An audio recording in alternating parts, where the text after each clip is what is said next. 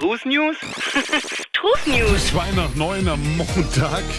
Und Wissenschaftler der Universität in Bonn haben jetzt äh, herausgefunden, dass wir Deutsche pro Tag durchschnittlich 88 Mal auf unser Smartphone schauen. Ja, das kommt hin.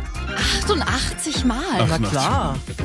Also durchschnittlich. Es gibt natürlich einige, die das wesentlich öfter tun. Ja? Oh ja? Ich meine, ich kenne Jugendliche, die schauen pro Tag nur dreimal auf ihr Smartphone, dann allerdings gleich für sechs Stunden.